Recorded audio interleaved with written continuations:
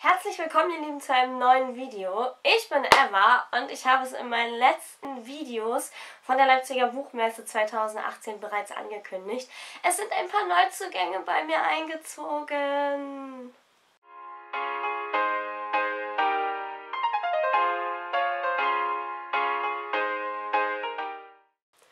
Dieser ganze Stapel ist neu in meinem Regal. Alles aus dem März. Und ich habe es gerade bereits erwähnt, der Großteil davon kommt von der Leipziger Buchmesse. Ich habe mir tatsächlich ein bisschen gegönnt. Aber das erste Buch kommt nicht von der Leipziger Buchmesse. Und damit wollen wir gleich mal beginnen. Und zwar habe ich ein Buch seit einer Ewigkeit mal wieder vorbestellt. Wer von euch kennt Adriana Popescu? Wer von euch hat schon etwas von ihr gelesen und wer von euch findet, dass ihre Bücher super sind?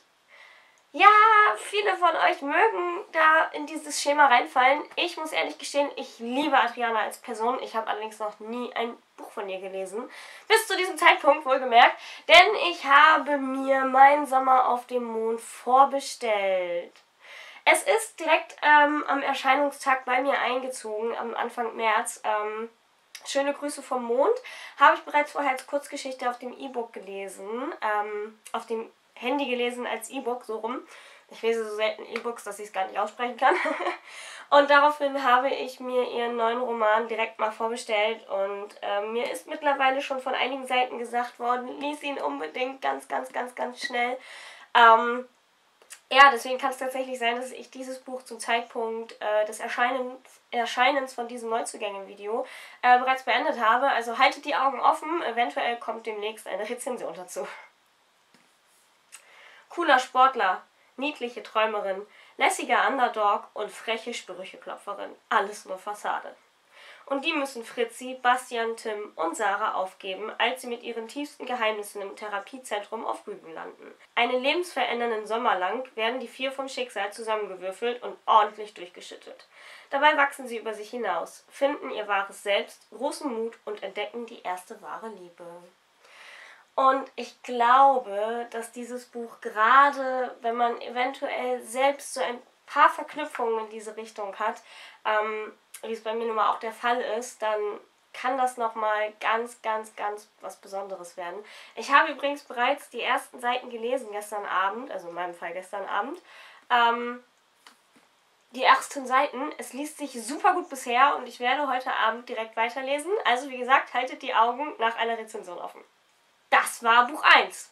Weiter geht es mit meinem Messehaul. Es ist jetzt schon zwei Wochen her, dass ich auf der Buchmesse war, aber ich habe euch meine Bücher noch nicht vorgestellt. Und es kommt, vier Bücher sind neu nach der Leipziger Buchmesse bei mir eingezogen. Als aller, aller, allererstes möchte ich euch ein Buch zeigen, das, naja, mein kleiner Schatz von der Buchmesse ist, sagen wir es so. Ich habe mich sehr, sehr, sehr über dieses Buch gefreut und es war tatsächlich eine spontane Entscheidung. Also Wobei, das waren die anderen auch. Ich zeig's euch einfach. Und zwar ist die Rede von diesem Fantasy-Buch Götter von Asgard von Liza Grimm. Es ist tatsächlich sehr, sehr dünn eigentlich. Ich hatte es vorher immer etwas dicker in ähm, mir vorgestellt. Äh, als ich es dann im Regal gesehen habe, blätterte ich da gerade so drin rum und auf einmal stand die Autorin neben mir. Mensch, Jenny, Du hast mich zum Kauf gezwungen, denn wenn die Autorin schon neben einem steht, dann darf ja auch eine Signierung nicht fehlen. Und nachdem dieses Buch für mich signiert worden ist, für Katharina mit den coolen Haaren, habe ich das Buch dann gekauft. Buntes Licht tanzte über die mächtigen Burgen und ließ ihre edelsteinverzierten Fassaden erstrahlen. Loki deutete grinsend nach oben. Galaxien, unzählige, Sie schienen zum Greifen nah. Es gibt eine uralte Prophezeiung über den Untergang Asgards. Natürlich glaubt die Studentin Ray kein Wort von dem Gerede der mysteriösen Kara, die behauptet, sie vor dem Zorn der Götter schützen zu wollen. Stattdessen ergreift sie die Flucht vor ihrer neuen Freundin und läuft dabei Tier in die Arme, der sie auf Anhieb fasziniert. Ray ahnt nicht, dass Tier als Odins Gesandter um jeden Preis verhindern soll, dass die Prophezeiung eintrifft. Als sich auch noch Loki, Gott der Listen, in die Geschehnisse einmischt, muss Ray erkennen, dass die Legenden über Asgards Götter und Riesen sehr real sind und dass sie Ray auf die Reise ihres Lebens führen werden. Ich habe bereits äh, am Messestand schon einmal in dieses Buch reingelesen und ich bin sehr, sehr, sehr, sehr, sehr gespannt, was diese ja, 300 Seiten für mich bereithalten. Ich freue mich auf jeden Fall darauf, es zu lesen. Also die nächsten Käufe sind tatsächlich eher untypisch für mich, denn eigentlich lese ich kein Sci-Fi. Also weiß ich nicht, was die nächsten drei Bücher bei mir sollen. Gut, dazu muss ich sagen, der erste Kauf, der es ähm, nun ja in meinen Warenkorb geschafft hat, ähm, ist von einem Autor, den ich bereits gelesen habe. Und zwar ist die Sprache von Andy Rear mit Artemis. Ähm, und hier unten steht es auch schon drauf, vom Autor des Weltbestsellers Der Marsianer. Ähm, hier ist noch so ein wundervoller Aufkleber drauf. Ich hasse übrigens Aufkleber auf Büchern, ne? Die kann man immer nicht so abkratzen, die müssen da drauf bleiben. Weil man sonst das Buch kaputt macht. Ich mag das gar nicht. Ähm, nee, und Der Marsianer war eins meiner absoluten Lieblingsbücher. Ich habe es, ich glaube, es ist schon fast zwei Jahre her. Ich habe es verschlungen und geliebt ich liebe dieses Buch noch heute und ich gucke auch unheimlich gerne dieses, diesen Film dazu noch, weil ich diesen Humor einfach so klasse finde. Deswegen konnte ich tatsächlich am ähm, Buch von diesem Autor einfach nicht vorbeigehen, ähm, weil ich die Hoffnung habe, dass dieses Buch genauso humorvoll geschrieben ist wie der Marsianer. Willkommen in Artemis, der ersten und einzigen Stadt auf dem Mond. Einwohnerzahl 2000. Viele Millionäre, Wissenschaftler und Touristen. Eine Kriminelle. Der neue große Roman von Andy Ware. Mehr möchte ich zum Inhalt noch gar nicht verraten, weil ich selbst die Inhaltsangabe auch gar nicht lesen möchte. Ähm, ich will mich hier relativ überraschen, einfach weil ich die Vorgeschichte ja, also die Vorgeschichte, weil ich seine Art schon kenne und ähm, naja, der Marsianer war ja auch ja, einfach ein genial gutes Buch und äh, ich freue mich schon sehr auf einen weiteren Band von ihm, ein weiteres Buch von ihm und ja, Sci-Fi halt. Wobei ich befürchte, dass die nächsten beiden Bücher noch wesentlich mehr Sci-Fi beinhalten als äh, das Buch, was ihr gerade gesehen habt. Weiter geht es nämlich mit Ernest Klein, Armada, nur du kannst die Erde retten. Ich finde das Cover so schön. Es hat ein so schönes Cover. Es ist einfach, ihr seht das gar nicht, weil es glänzt. Ne? Ähm, es ist einfach, ich liebe es. Es ist, es ist wunderschön. Also ich bin ein Mensch, der auf Schwarz steht und ähm, es glitzert und glänzt und leuchtet. Ja. Du hast gedacht, es ist nur ein Computerspiel.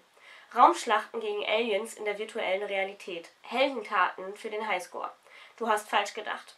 Es war ein Training für den Ernstfall. Die feindlichen Außerirdischen gibt es wirklich. Ihre Raumschiffe nehmen Kurs auf die Erde und es gibt nur eine Hoffnung. Euch, die Gamer. Ich muss gestehen, da wird tatsächlich die Gamerin in mir angesprochen. Äh, auch wenn ich momentan nicht so viel Zeit dafür finde, bin ich ein großer Fan von Videospielen. Und ähm, Buch plus Game, da werde ich tatsächlich so ein bisschen angetickert und ähm, im positiven Sinne. Außerdem steht hier hinten noch drauf ein Kommentar von Andy Weir, meisterhaft. Oh, und von George R. R. Martin, äußerst unterhaltsam. Und ich denke, ähm, das, das, ja, also das könnte was passen. Also es könnte was werden, es könnte passen. Ähm, ich möchte es ganz gerne versuchen mit diesem Buch. Ähm, es ist auch wunderschön geschrieben, also es hat echt. Oh, sogar ein Lesezeichen drin. Also ich bin sehr, sehr, sehr gespannt auf diesen, diesen Buchtitel und ähm, ja, mal schauen, wie es so wird. Ja, also was ich mir bei dem nächsten Buch gedacht habe, weiß ich ehrlich gesagt auch nicht. Ich glaube, es hat sogar noch am meisten Sci-Fi von allen gerade. Es ist das letzte Buch, das ich übrigens neu gekauft habe, also es wird jetzt spannend. Ähm, das Cover hat mich tatsächlich als erstes angesprochen und zwar ist die Rede von Red Rising von Pierce Brown. Das ist so ein schöner Feuerflügel. Seht ihr das? So ein schöner Feuerflügel. Ich mag Feuerflügel. Es ist eigentlich ein wunderschönes Buch. Es ist extrem dick. Also es hat fast 600 Seiten. Ähm, da habe ich tatsächlich etwas Angst vor.